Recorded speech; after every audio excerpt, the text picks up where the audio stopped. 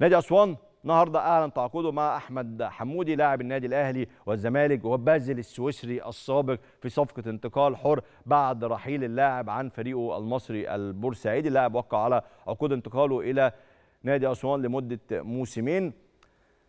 حمودي ده برضو يعني لعيب حلو قوي زيه زي صالح جمعة كده. في لعيبة كده بتبقى مهارية جدا. حمودي ده راح بازل تونسين يعني في ناس بتنسى كده حمودي إنه عدى على بازل السويسري يعني.